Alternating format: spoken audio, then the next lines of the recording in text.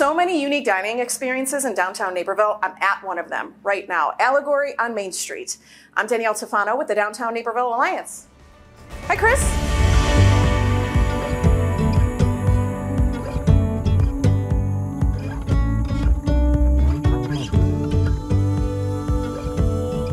We're in downtown Naperville on South Main Street at Allegory. Chris Mason is the owner. Thanks for coming. Thanks for being here. And, you know, when you go to a lot of restaurants, um, you have your tried and true favorites on the menu. But I noticed with Allegory, things come and things go. Is there a reason behind that?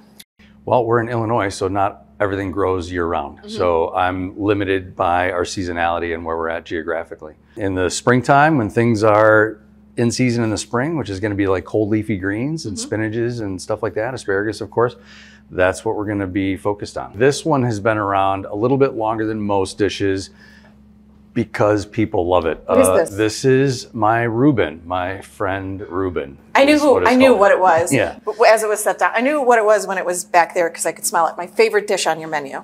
Thank you very much. I'd like to think that it's the best Reuben in the world. I would put that in a competition against anybody's Reuben. It's really hard to concentrate with this sitting in front of me. But let's talk. We talked a little bit about local. Your story behind your greens and where you source them from. Let's talk about that.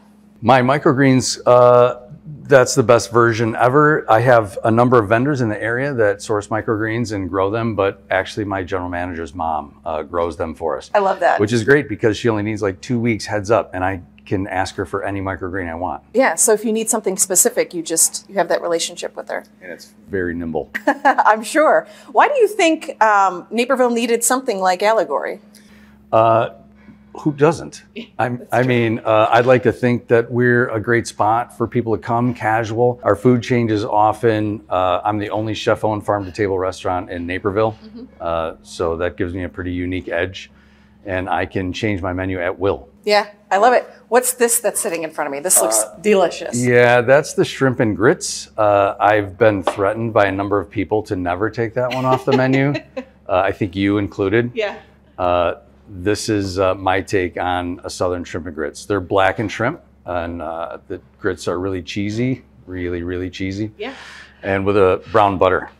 You know, that's the interesting thing too is that you try to change your menu up seasonally, but then you have such good food on your menu that nobody wants you to change. What's on it? Uh, listen, I've gotten used to that over the years. No matter no matter what you serve, no matter how great it is, people are, uh, even even a dish that I you know may not be doing great. Somebody's always going to love it. yeah.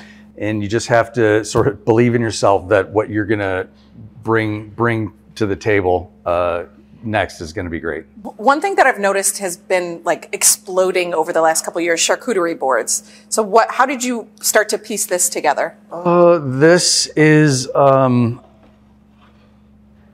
just a, an offering of all things great. It's literally called the Chef's Never Bored board, uh, and it rotates depending on also a huge part of seasonality. And a lot of, a lot of our rotation comes from when I get bored uh, and I just want to change stuff up, which is something that most restaurants can't do. Yeah, so I, I, love get away that. with that. Definitely unique with Allegory. When you were trying to find a place for your restaurant, why did you choose downtown Naperville?